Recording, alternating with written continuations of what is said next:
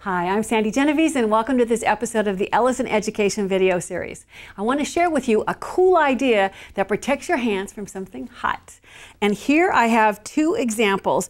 These are the sleeves that you put around a cup that's meant to hold coffee or tea or hot chocolate, any of the choices. They're just meant to protect your hands from the heat. They're also good if you have something cold in here and the glass gets kind of wet and sweaty. It helps protect it from that as well. This is a great idea that you could use for Mother's Day to celebrate moms.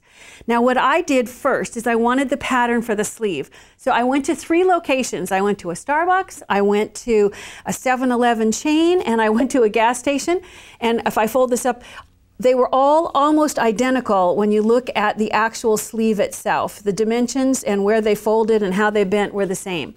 Then it's just a matter of deciding what do you want to cut it out of, and it has to be just something that can curl around the cup. So I tried some out of foam and I tried some out of felt. I thought the one that we would do today would be self-adhesive felt. So what I did first is I laid this down, and because this is self-adhesive felt, I was able to use a marking pen to trace around it in order to get the pattern on the backside. And then I kind of marked about where I'm going to trim off the adhesive portion. I want to leave the backing on the bulk of this. I only want the, the very tail end to have the adhesive exposed. So all I'm going to do is use my guideline to trim off so that I have sticky here, but the rest is going to just be able to slide on and off of the cup.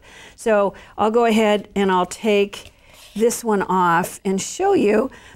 All I need to do at this point is just, it's opposite of what you would think. You need the larger side, uh, the longer side at the top.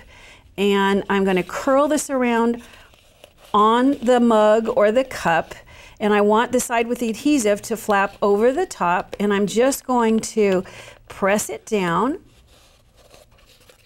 you can take it off at this point if you want to, and you can stick uh, paper clips or something to hold it. But at this point, then I decided where this seam is, I would exaggerate it by putting a, a design there. So I've just taken tiny hearts.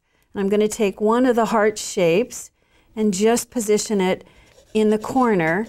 And you can see how cool it makes this, it will slide on and off easily enough, but it goes together so quick and easy.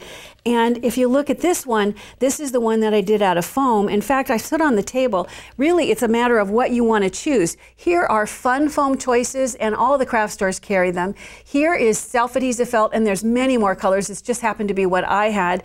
And then I even did some out of regular felt, and I used just a nice, strong, aggressive adhesive in order to hold it closed.